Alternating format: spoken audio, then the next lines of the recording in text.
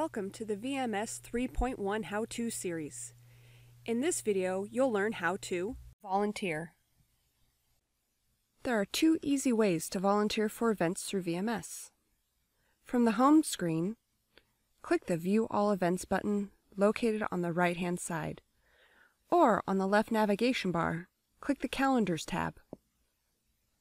On the next screen, you will see a display of the current month's events. I want to volunteer for the upcoming library talk on May 3rd. I find and click my event. On the next screen, I can see the event details and volunteer for the event.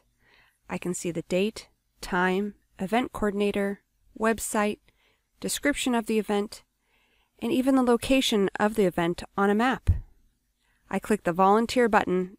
Once I'm volunteered, I can click in the upper right hand corner of the Export iCalendar so I can add it to my electronic calendar. To see what events I've volunteered for, I can look on my home screen on the right hand side under Your Calendar. Or on the left navigation bar, I can click on the Calendars tab.